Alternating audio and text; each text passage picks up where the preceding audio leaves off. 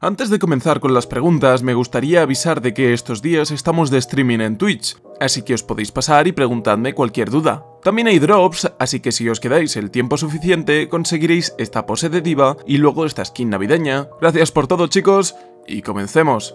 Scrum me pregunta, ¿es mejor enfocarte en dos o tres héroes o tratar de mejorar con variedad de héroes? Creo firmemente en que si existen main Anas, main Reinhardts, main Genjis y así con el resto, es porque no con todos los héroes puedes alcanzar tu máximo de habilidad. ¿Deberías jugar todos los héroes entonces? Sí, al menos un par de veces para conocer sus habilidades. De esta forma, cuando juegues contra estos, los conocerás de arriba abajo y podrás incluso predecir qué harán. Una vez que hayas probado a todos, intenta centrarte en dos o tres de cada rol con los que te hayas sentido más cómodo.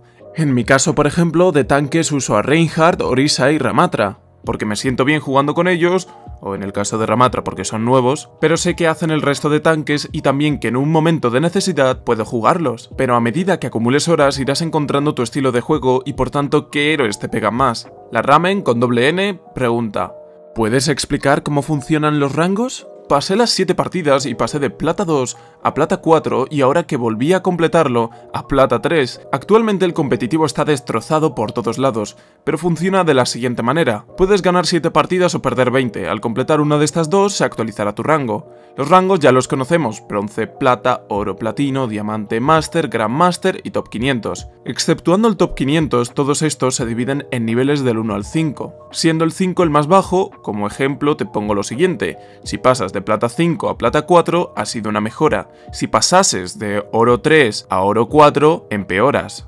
Moralowski pregunta, ¿30% ya no funciona restando 5 de daño? Es una pregunta relacionada con el primer vídeo, que os lo dejo en la pestañita de arriba a la derecha, lo podéis ver. Pero ahora bien, respondiendo a la pregunta, nope.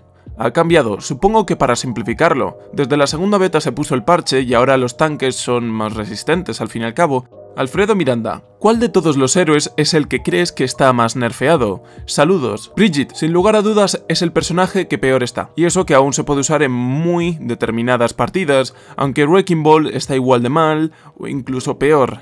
Ambos personajes necesitan cambios y aunque odia a Bridget con toda mi alma, y por obvias razones, tengo que decir que si le devolviesen el stun de su escudo mejoraría mucho el personaje... No me puedo creer que haya dicho eso. Renzo Chirinos. Oh, ¿crees que algún héroe está muy bufeado actualmente? Kiriko, Sojourn y Roadhog. Fíjate si es grave el problema que a Kiriko la han nerfeado pero sigue siendo tier S y a Sojourn la nerfearon dos veces y sigue siendo de las mejores DPS. En el caso de Kiriko, le reduciría la hitbox de los kunais en un 15% y eliminaría la inmortalidad que te da con el Suzu, que vamos a ver, esta habilidad parece una oferta de tu supermercado de 3x1. Te cura, te da invulnerabilidad y te limpia estados. Quitadme alguna, por favor. Y para Rodhot ya han anunciado un futuro rework, así que solo queda esperar. Edgardo Cabrera. Hola, espero la pases muy bien, muy buenos todos tus vídeos, me podrías recomendar un healer que sea un poco más fácil que los otros, y gracias por tomarte el tiempo de leer. Lo primero, muchas gracias, lo segundo, espero que tú también tengas un buen día, y lo tercero, Moira. Es más, te respondí por adelantado para que pudieses ir probándola, pero sí, Moira es actualmente el support barra healer más fácil de usar con diferencia. Si no contamos con los que van full DPS con ella, claro. Stefan Steffi. Hola, ¿me puedes ayudar con una duda? ¿Thor puede curar a Bastion con su martillo? Lo vi en un vídeo, pero no me lo creo. ¿Y haces bien? ¿No te lo creas? No. No puede, y me repito, da igual donde lo veáis, no es cierto. En la workshop se pueden hacer todo tipo de modos de juego y seguramente alguien hizo que el martillo de Torbjörn curase a Bastion al golpearle, pero ya os digo que en mitad de una partida eso no os funcionará. Lix es... Me encanta tu forma de hablar y explicar, carita sonriente. Y quería preguntarte si harás un vídeo dando consejos más del apartado táctico del juego. Creo que muchos que acabamos de empezar a jugar hace poco se sentirán identificados cuando digo que jugamos corriendo como pollos sin cabeza, disparando sin tener muy claro lo que estamos haciendo.